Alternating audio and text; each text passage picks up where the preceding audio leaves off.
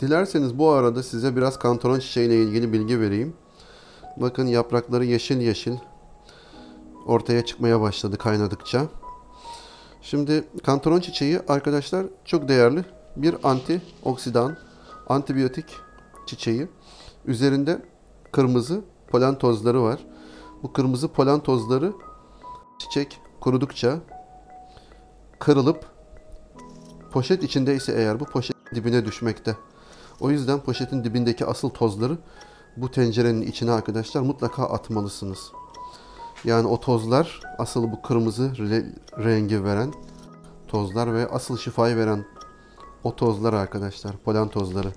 Hani arıların çiçeklerin üzerinden aldığı tozlar var ya işte o tozlardan bahsediyorum. Bu arada kaynamaya başladı. Şimdi kısık ateşe çevireceğim.